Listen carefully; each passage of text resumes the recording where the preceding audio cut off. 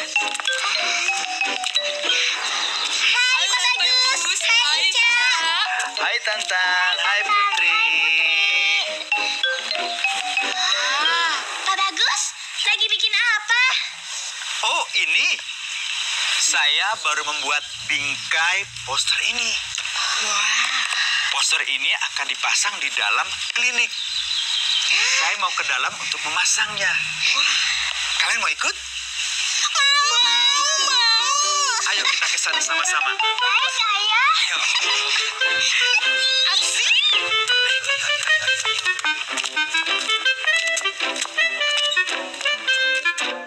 Bagaimana ya? Sudah jadi bingkai posternya? Ini Bu, posternya udah jadi. Dokter Susan, poster itu untuk apa? Kok isinya cuma huruf? Makin ke bawah makin kecil, gambarnya tidak ada lagi. Oh, ini poster ada gunanya. Kamu bisa mengetes kemampuan mata kamu. Sampai baris keberapa, kamu bisa membaca huruf-huruf ini. Semakin ke bawah, berarti mata kamu makin baik penglihatannya. Dengan memeriksa mata, kita bisa tahu apakah mata kita masih baik atau tidak. Kalau tidak, kita bisa memperbaikinya dengan menggunakan kacamata. Aku mau mencobanya, Dokter Susan. Ayah, bagaimana kalau posternya dipasang agar Tantan bisa mencobanya? Coba Tantan, tutup mata kamu sebelah. Lalu baca yang ini. Itu huruf N, Kalau yang ini, L, kalau yang ini, U, kalau yang ini, R. yang ini. Kalau yang di bawah itu C. Wah, Tantan penglihatan yang bagus sekali. Terima kasih. Ini pasti karena aku rajin makan sayur dan buah. Aku orang hutan yang punya mata paling baik di jalan sesama. Jadi, tidak perlu pakai kacamata.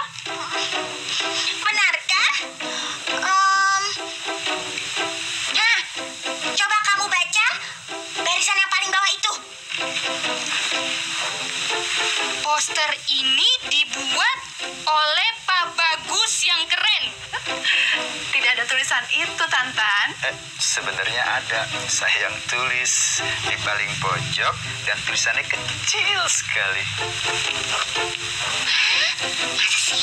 Yuk. Poster ini dibuat oleh Pak Bagus yang keren.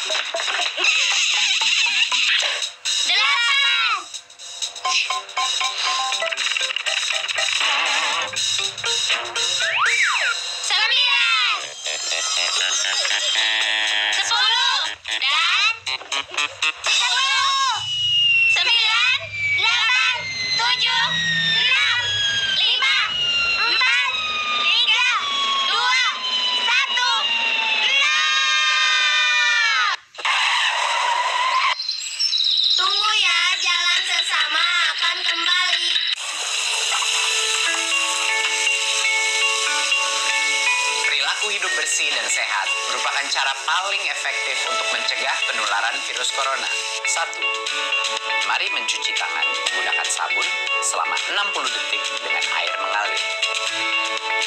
2. Tingkatkan daya tahan tubuh dengan istirahat cukup dan rajin berolahraga.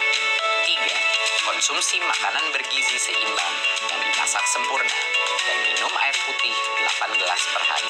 4. Gunakanlah masker atau tutup mulut dengan lengan jika batuk atau bersin. 5. Jika ada gejala seperti demam dan sesak napas, segera kunjungi pelayanan kesehatan terdekat. Jadi, tetap tenang dan selalu waspada. Mari kita maksimalkan upaya pencegahan virus corona dengan menerapkan perilaku hidup bersih dan sehat.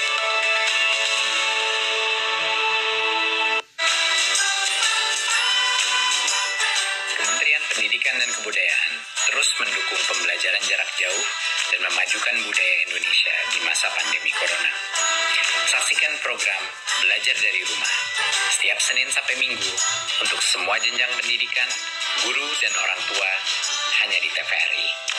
Marilah kita bersama-sama belajar dari rumah.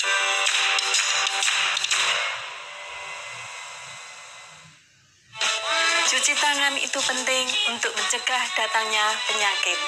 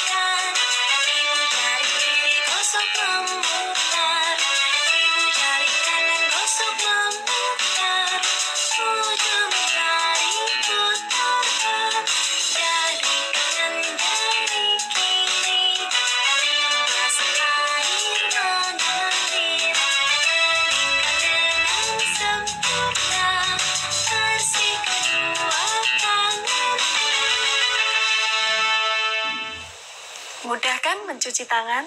dipersembahkan oleh Corona Corona. Jangan ganggu aku. Ayo ayo cuci tangan. Usai bermain di luar. Ayo makan makanan sehat. Serta buah-buahan Ayo jaga kebersihan. Cuci-cuci perkakasmu. Jangan lupa berolahraga Agar badan tetap bugar. Berikan salammu dari jauh. Untuk teman tersayang Berikan doa terbaik untukmu Teman-teman di rumah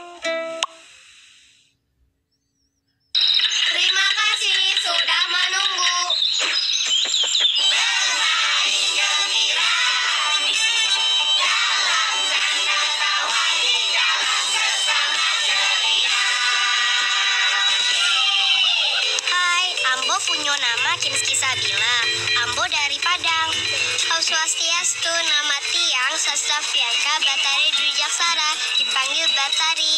Saya punya teman. Hai, anak Tiang Fadia. Aku dari Lombok. Nah, ini teman saya. Assalamualaikum, nama Ayah Raffi. Ayah anak Betawi asli.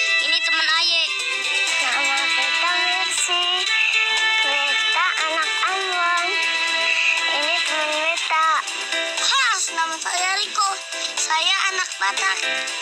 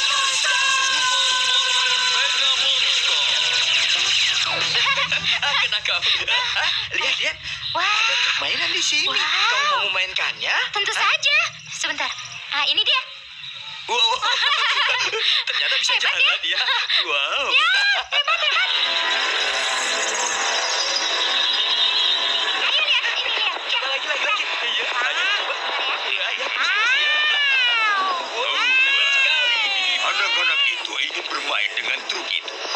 Aku akan membuat masalah. Asisten, Ya, Tuan Softik yang jahat. Keinginan Anda adalah perintah bagi kami, Tuan. asisten. Eh, Kau ya. lihat anak-anak itu di bumi. Ah, ya, ya, ya. Aku ingin buat masalah untuk mereka. Buat mereka bertengkar atas truk mainan mereka. Ah, ya, ya. Dengan senang hati, Tuan Softik. Segera, Tuan. Ya, ya, ya.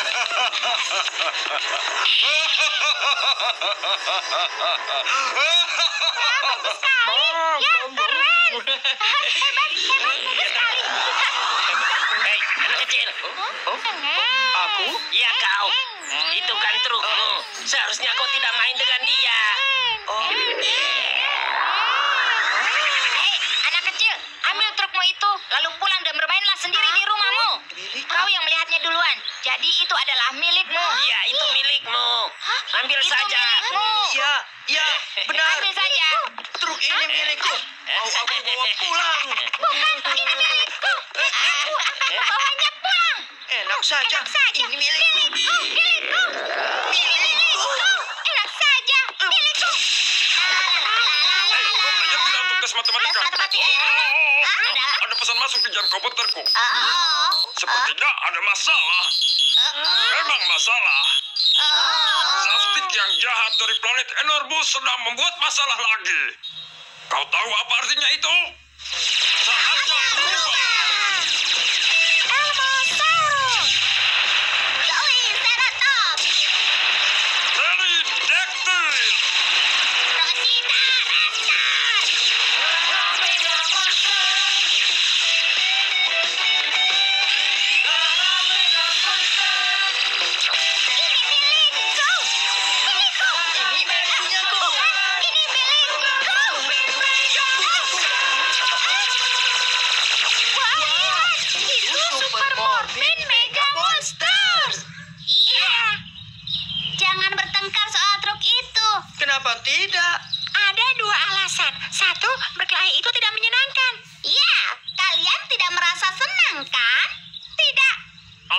Kedua, kalian tidak bermain dengan truk itu, tapi kalian bertengkar.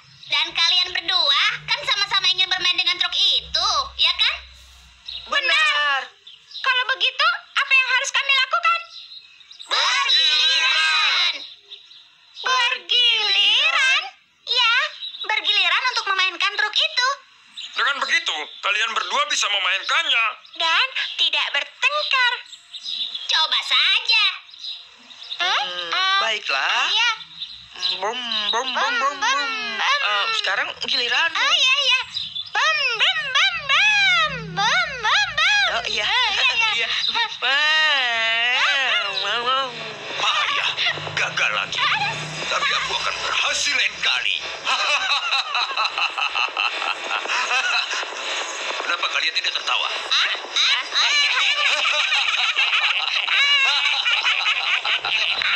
Wow, ternyata Iya. ini lebih menyenangkan. Eh, Sekarang apalagi yang bisa kita mainkan secara bergiliran?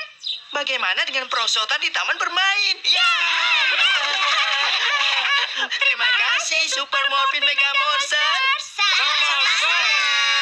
Eh, ayo kita main perosotan. Eh, Dadah. Oh, aku suka truk ini. Sekarang, apalagi yang kita tunggu?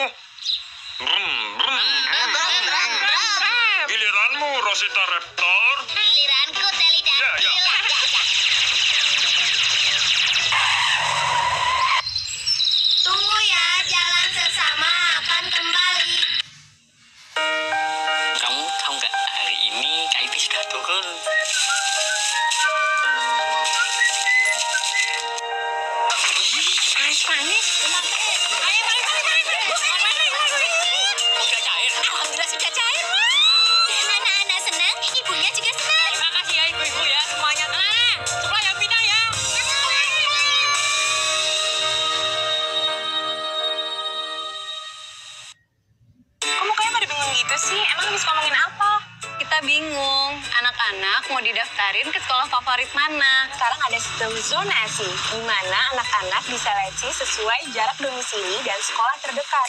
Bukan lagi ditentui dari nilai UN ataupun USBN. Udah nggak ada sekolah favorit lagi dong, Gak ada lagi dong, Beb. Karena sistem zonasi bertujuan untuk mendekatkan siswa dengan sekolah dan mempercepat pemerataan kualitas pendidikan di Indonesia.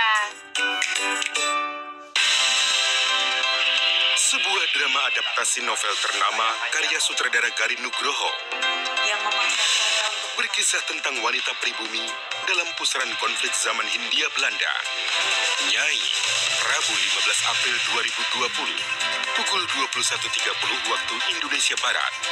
TVRI, Media Pemersatu Bangsa. Terima kasih sudah menunggu.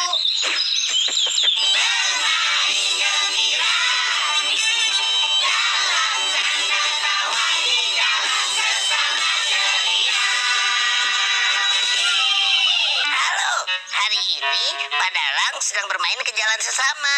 Eh, Padalang pandai bercerita loh. Eh, eh, Padalang hari ini mau cerita apa? Cerita apa ya? Sayur, wortel, kangkung, kentang. Hari ini saya bawa sayuran segar. Wortel. Oh, wortel. Nah, Bapak punya cerita. Pada zaman dahulu kala, ada sebuah kerajaan yang semua orang makan wortel saja tiap hari. Mereka berbuat itu karena raja mereka suka wortel. Hormat pada Raja Wortel. Halo, Jabri adalah Raja Wortel. Dan Raja Jabrik suka makan wortel setiap hari. Dan semua orang di sini juga makan wortel setiap hari. Semua makan wortel setiap hari. Suatu hari, ketika sang raja sedang berjalan-jalan, ia bertemu seseorang.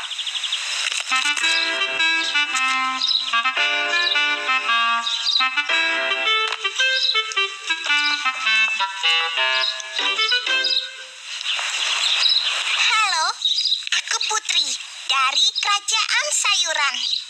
Aku Raja Jabrik, Raja Wortel. Dan ini Momon, pengawal Raja Wortel.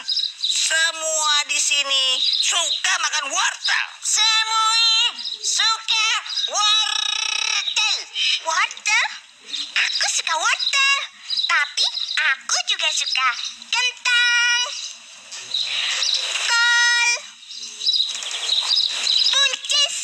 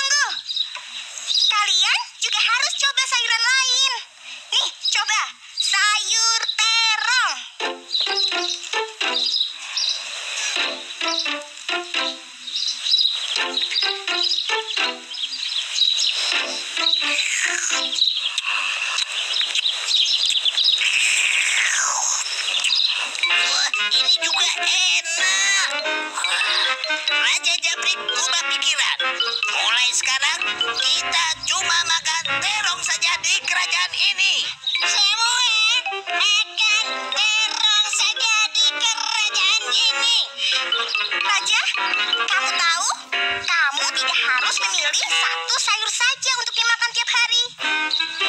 Oh iya? Iya. Kamu bisa memakan sayuran berbeda tiap hari kalau kamu mau. Wah, hebat. Raja Jabrik tidak tahu itu.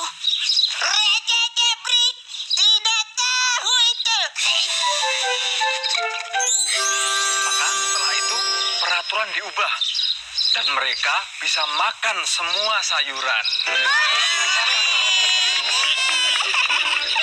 Ceritanya bagus ya. Iya.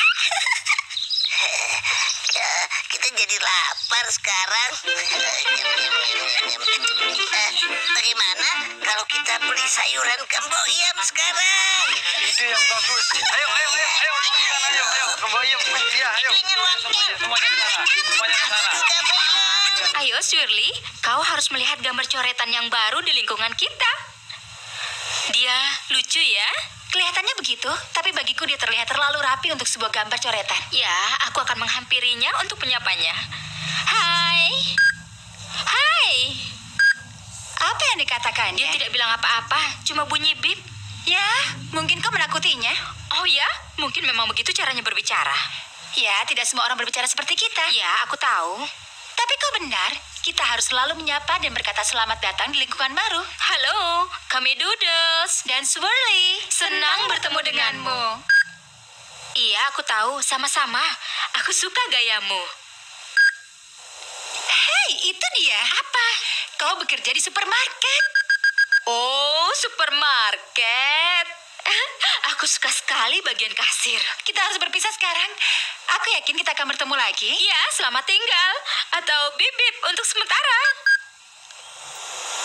Wah, Swirly, dia tidak mengatakan kalau dia punya keluarga besar. Hai, kali ini aku akan mengajak bernyanyi. Kita akan bernyanyi sambil belajar tentang